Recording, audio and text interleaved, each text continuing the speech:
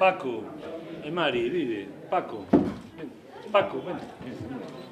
Estoy temblando. Pero más de nervios que de frío. Sí.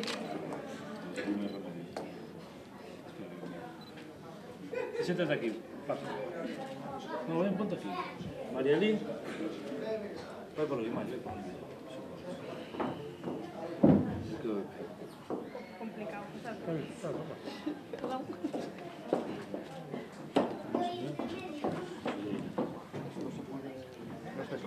No, no, no, no. Pasa aquí. Bueno.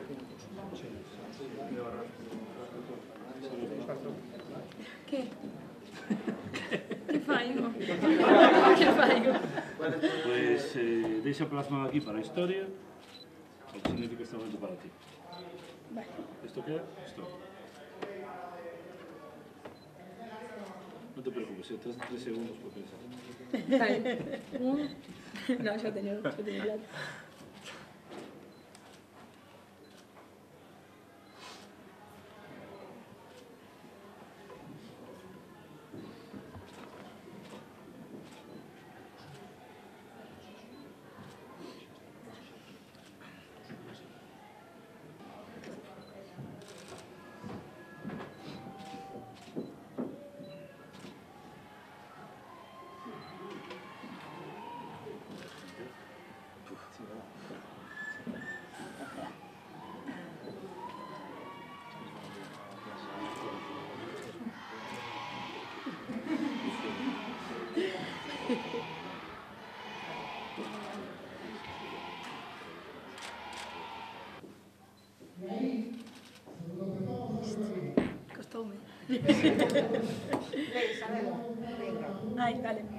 Grazas por ser o entorno que me fixo crecer coa música, coa xente e coa cultura.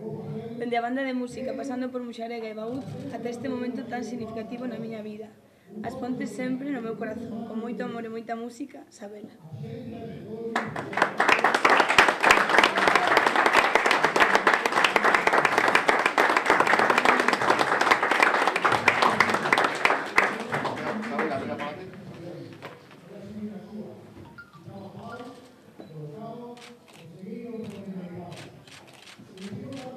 identifica, do que nos gusta, onde estivo, onde está e onde estará coa música de As Fontes. Contamos xa con esa música para recibir a, a nosa Sabela.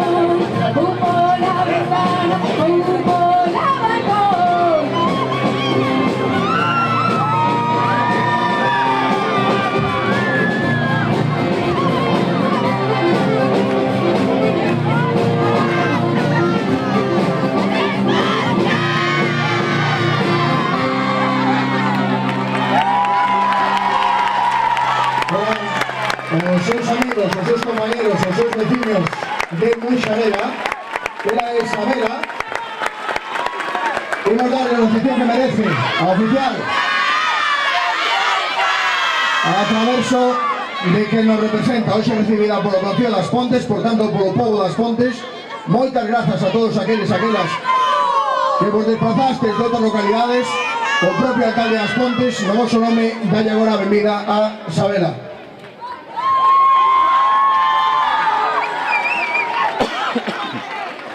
Moi boas tardes a todas e a todos. Aquí a temos xa en Carneoso, despois de estar catro meses vendo a través dunha pantalla, xa temos aquí a súa vida. Simplemente, moi brevemente, decirlle, mandarlle un abrazo en nome da súa vida, de cada un dos seus veciños e veciñas, e agradecerlle o acto que deixou o pabellón das Pontes durante esta tempada. Decirlle, ademais, que demostrou que se pode competir sen perder os valores, sin perder a esencia do que unha é e sin olvidar a terra que habeu nacer. Moitas gracias e un abrazo en nome dos teus veciños.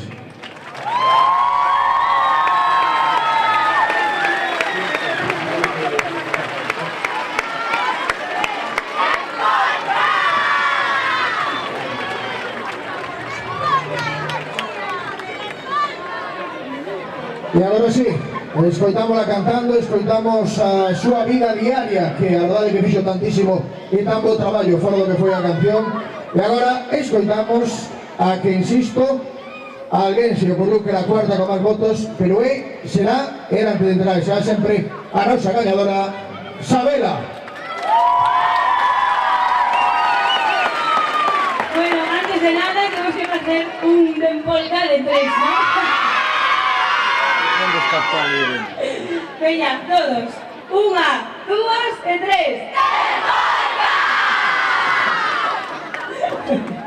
bueno, hola, Dios, estou un pouco nerviosa, eh? non me tome de eso en conta.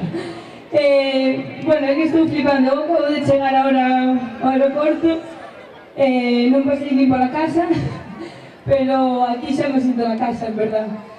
Así que moitas gracias, de verdad, por todo o apoio que aínda non puiden ver todo, pero xa me dixeron que era moitísimo e hoxe estou vendo que é moitísimo. E, e se cheguei hasta onde cheguei foi gracias a que todos vos me estabades apoiando, senón pois non podería estar tanto tempo dentro da academia. Eh,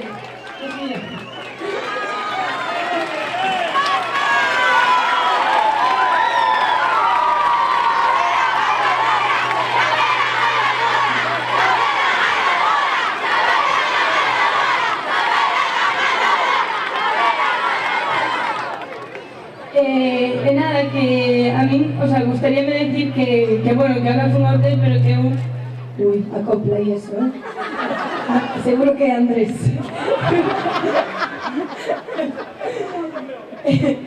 eh, que, me, que me encanta que me xarega aquí porque eu foi onde, onde nací realmente ainda que, o sea, a nivel cantante, porque antes xa nacera la banda de música, claro e que mm, que moitas gracias por, por, por apoiar sempre os, os colectivos e as agrupacións do, da vila que mm, seguramente aquí hai moitas persoas que tamén teñen un soño sea cantar, sea vivir, bueno, do, do que eras queiran vivir e que é importante que apoiamos esos soños porque nunca se sabe onde van a acabar, mira onde acaba eu e non o pensaba cando pensei que o meu máximo era cantar na Fraga e para mí eso xa era a hostia.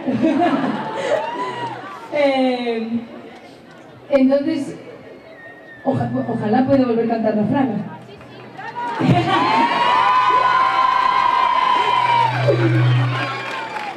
eh, e nada, que, de verdade que moitas grazas e que, que a música é único que realmente nos une, que eu fun eu todo o tempo non, non o entendería sin, o sea, de outra forma. Non creo que sexa máis ni menos que naite, simplemente, pois, é a miña experiencia. Eh, e pouco máis desfío, que non sei, despeixo tantas caras mirándome que non sei.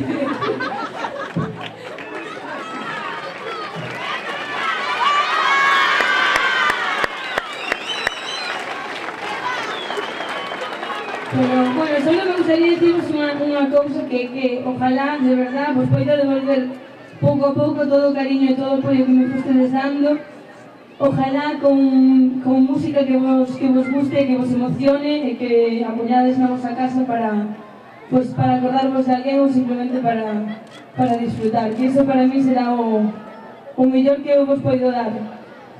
Eh, nada máis.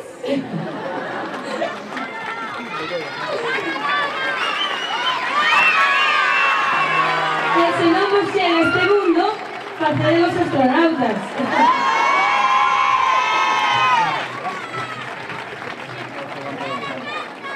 Hablaba antes Rosa Cayo, Valentín González, de que eh, Isabela no era consciente de todo lo que pasaba aquí, era confirmando, y nos noticiamos porque Isabela, a nuestra vecina, a nuestra amiga siempre, resulta que pasaba a ser una referencia en la televisión. Pues ha hallado que Isabela sabía seguro E algo que Isabela non está a comprobar. E que Isabela estivo sempre presente e sabelo a xente que son das Contes, porque o vistes con apoio de toda esta xente, pero sobre todo, sobre todo, dicía Isabela que nos debía o apoio para nada, non foi nada regalado, ela gañou, pero coa familia que deixou aquí co Parnotelo. Eu queria tamén, por favor, escutar algo da súa familia, neste caso da nai, que se convertiu en improvisada voceira, porque aunque Isabela coñece sabe o que hai, non ten ni idea de algo tan estrano como que disfrutou esta xente coa fachenda de filla que ten e o que fixo sufrir esa fachenda o que tiveron que sufrir para disfrutar durante estes meses, vale? Moitas gracias.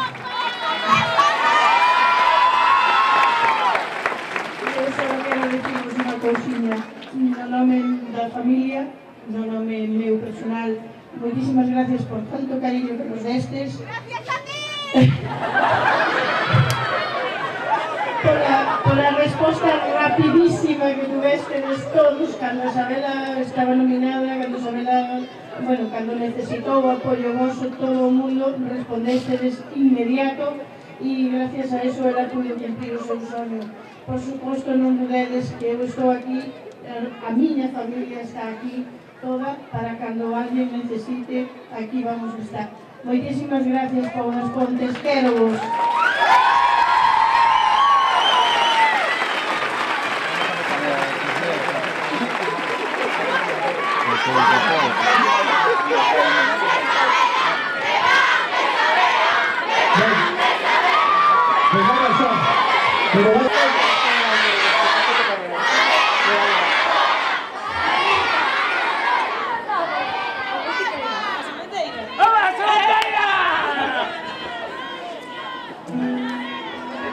juego preferido, Luis. ¡Claro!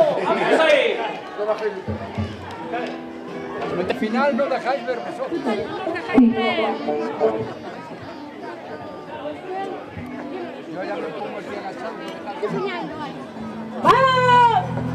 ¡Vamos!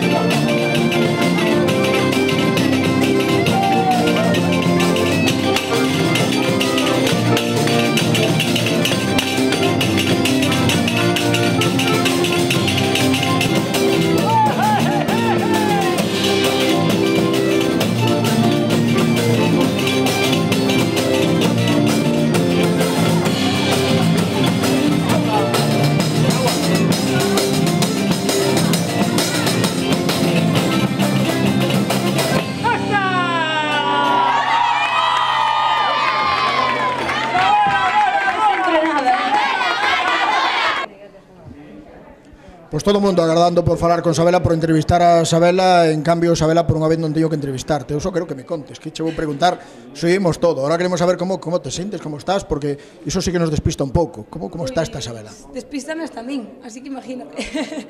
pois estou aínda aterrizando un pouco, pero pero bueno, xa vou asimilando porque é verdad que salimos da academia, pero foi como un período de transición de de entrar para ensaiar, salir para facer a gala de Nadal E, entón, eso sirveunos un pouco para ir asimilando hasta chegar a, a nosa casa.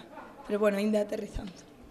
Cal é o parecido e a realidade a comparación? Cando entrabas ali hai case 4 meses, te imaginabas isto? Que iba a ser desta forma e que iba a acabar así? Non no. digo xa por como quedara, senón polo que supón estar dentro da Operación Triunfo. No, eh, de feito dixen yo, cando me facían entrevistas outro día, dixen que para min era foi como tamén quitarme a min prexuizos, non? Porque a tele non non é só o que se ve. E, e bueno, para mí foi unha gran experiencia porque o aprendizaxe que aí tes non só a nivel profesional, que é obvio, sino a nivel personal estás nunha situación moi moi extrema que non estarías na vida habitual. A xente que te coñece, Isabela, sabe evidentemente a parte de como cantas, como es, e sabíamos que eras valente, pero xogache isto todo polo todo desde o primeiro día, porque había decisións dende cantar en galego ata ese tipo de música, dicir as cousas moi clariñas desde o principio, a verdade é que te xogache todo polo todo, ninguén pode dicir que non coñecera a Sabela de verdade. Sí, é verdade, é que eu tampouco me plantexaba ir ali sendo nada que non fora eu, entonces eh, cando me nominaron por primeira vez tiña moi claro o que iba a cantar. O sea, foi, de feito, bueno, cando salimos da gala, nos vamos en bus para a academia, en ese tramo de 30, un minuto, como moito, temos que decidir que, que canción queremos cantar. E, eh, e tuve no moi claro, verdad? Eu tenho a saber que aunque non chegaras a final, aunque non tivera reproducción que tivo, aunque quitara o programa o que fora por cobrar mala audiencia, o que te levas emocionalmente, humanamente, da xente que coiciches, das amizades que fixeches, iso vai durar máis que calquera carreira discográfica, me temo. É bastante máis eh, serio e importante para ti. Sí, moito máis importante porque mm, ahora tes tamén unha canteira de profesores dun nivel moi grande ao que podes acudir. Eh, e despois unhos compañeiros que sempre te van a acompañar porque eles viviron o mesmo que ti. De feito, ahora, hoxe, cando nos separábamos e nos íbamos, sentíamos como un vacío, non? Porque, ao final, ahora estás ca tua familia, pero non con esas personas que, que sentiron e que viviron o mesmo que ti. Entón, para ese proceso de adaptación, pues, dá un pouco de medo. E agora, Sabela, eh, pregunto xo porque non teño idea, pero me temo que ti tampouco. Falaba antes con tua nai, eh, non lle podo dicir, xa está, pasou, porque agora empeza todo. Ahora empeza todo. Carai, ahora sí que empeza todo. Eh, sobre todo porque ahora somos nós os que nos temos que enfrentar a, ao que veña, os que temos que tomar as decisións e, eh, e bueno, un pouco marcar o, o camiño da, da nosa carreira. Isto era o que quería, Sabela. Se chan a, da, a escoller hai un par de anos, Sabela, ti queres isto, Vai pasar isto, a partir de agora a tua vida vai cambiar un montón, pero o que queres, ou ainda non o sabes? Ahora mismo sí, claro que sí, claro que o que quero, teño teño moi claro porque eu sempre tuve en claro que me quixen dedicar a isto entonces para min é unha gran oportunidade que me dan. O que teño moi claro é que o que che vai pasar vai ser o que ti queiras, porque xa o demostraches é que este e a túa carreira vai estar nas túas mans ao final. Pois pues, moitas gracias, ojalá se sea así. Moitas grazas, Abela, parabéns e moitísimas grazas en nome de toda esa xente que non ten a fortuna como a min de poder darches. Grazas. Gracias.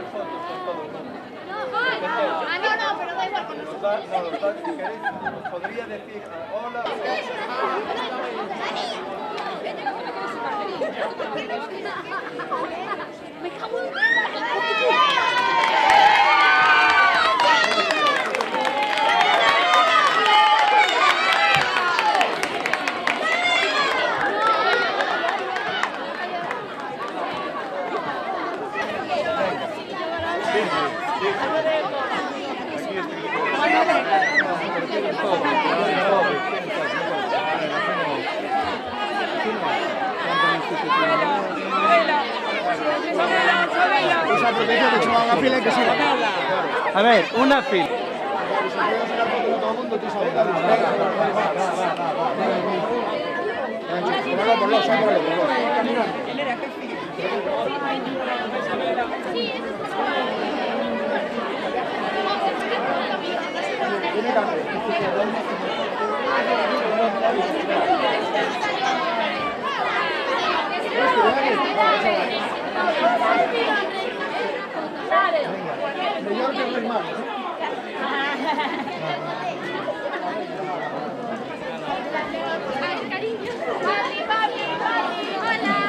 los airo, ¿eh? Vale, pero bueno. ¿Dónde está Pablo? ¿Cómo? Sí. Un coño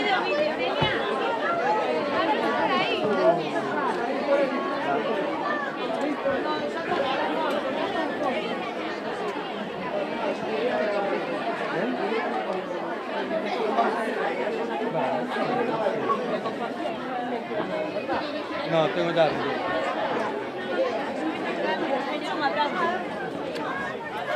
Muchas gracias.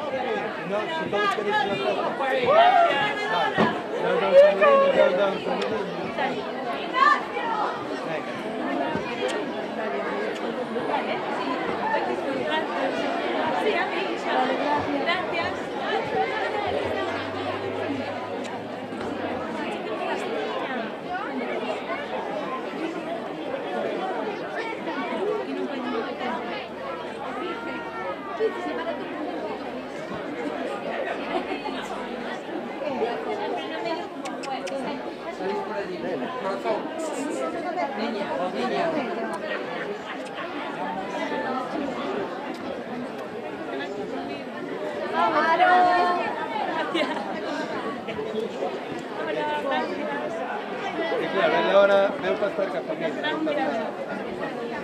Ya, ya, pero cuando sea, cuando sea en concierto, siempre está.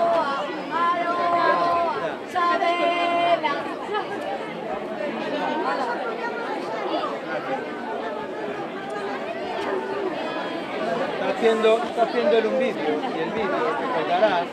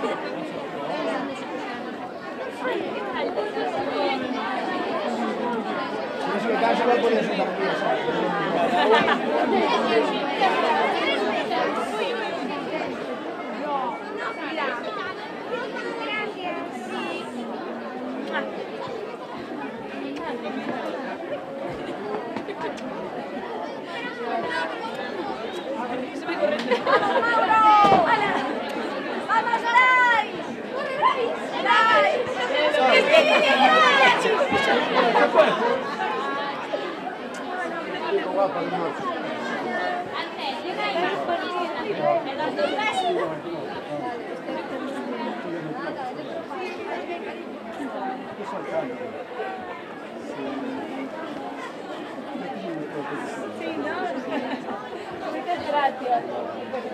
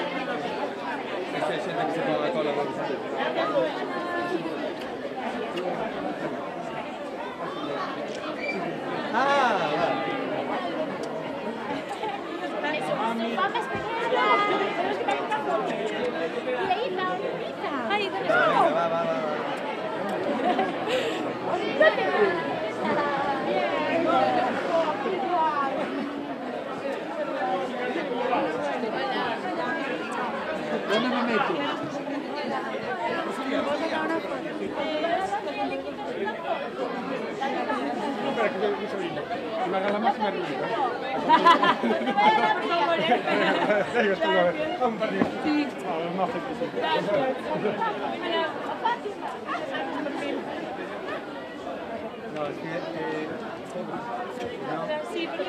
no, no, no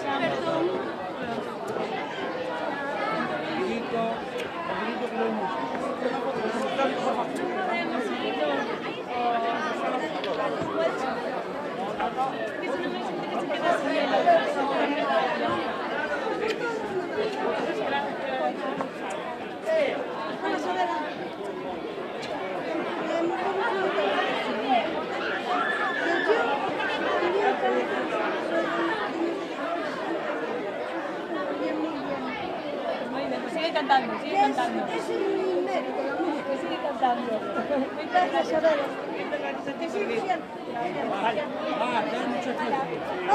Muchas gracias.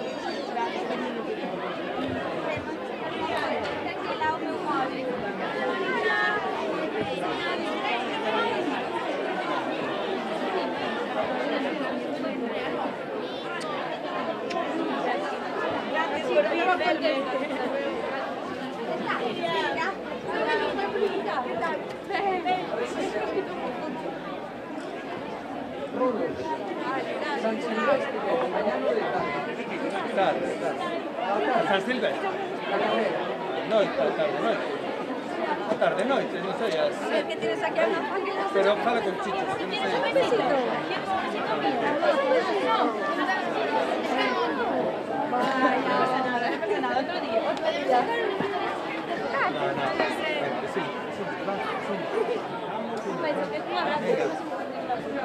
Ya es, ya es una suerte. No, a ver. Kiko.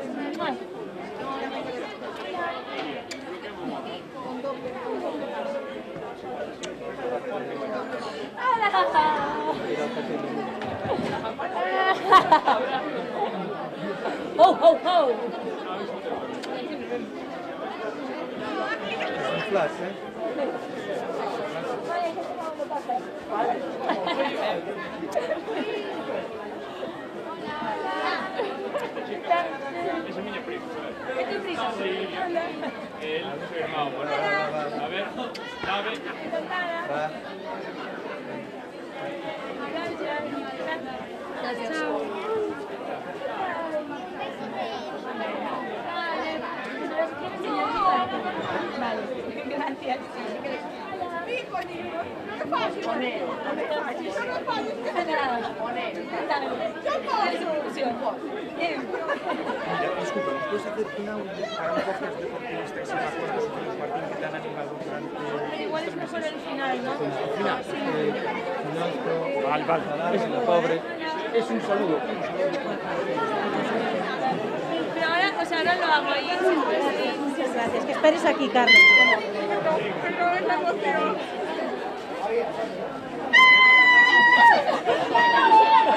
Andrea, poner.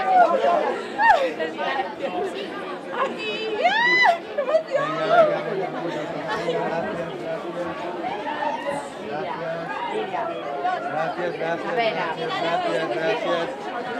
Gracias, gracias. Los niños, los niños.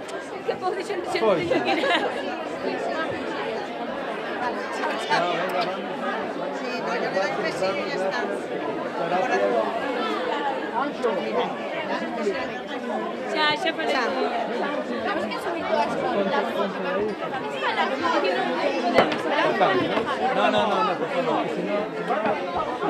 Ya.